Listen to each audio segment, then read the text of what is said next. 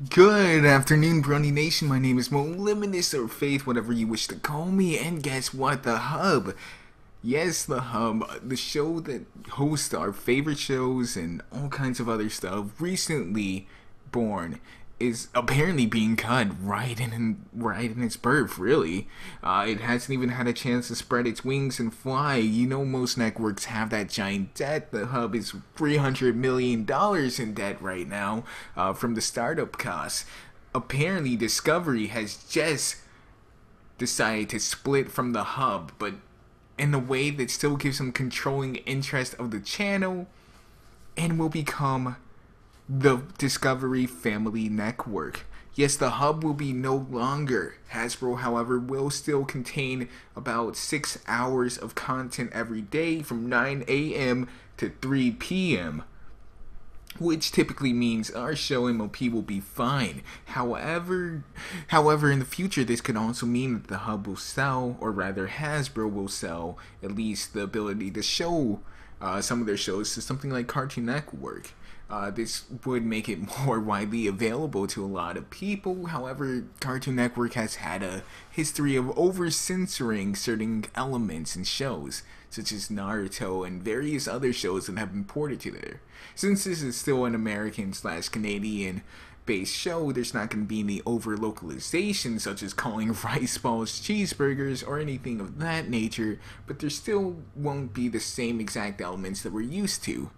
Now, I don't know if everyone understands the implications of a network failing, but that's what this is.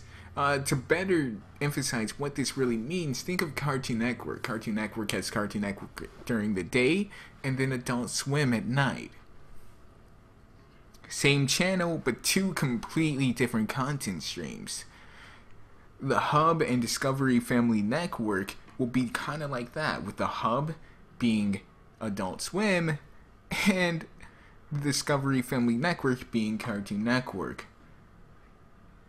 Except instead of at night, it's going to be in the morning to about when kids get home. I don't know if you guys realize that, but that's prime time around that 2:30 to 3 3:30 like time frame.